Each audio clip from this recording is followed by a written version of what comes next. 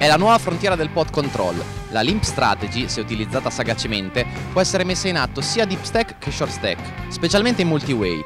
Emiliano Conti ci ha dato qualche dritta su come, quando e perché utilizzarla online.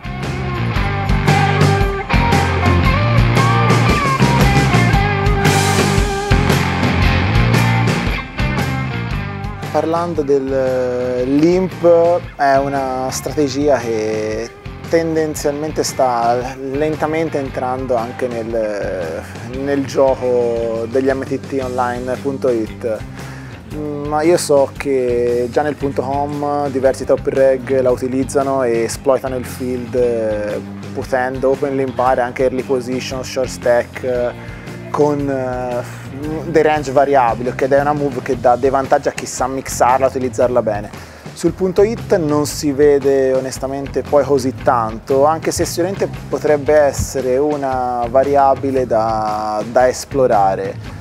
Parlo dell'open limp, per quanto riguarda l'overlimp è un qualcosa che già si fa soprattutto in situazioni di, in cui ci sono stati dei, dei limp a catena, ok? Quindi magari da terzo, quarto si, si overlimpa, ok?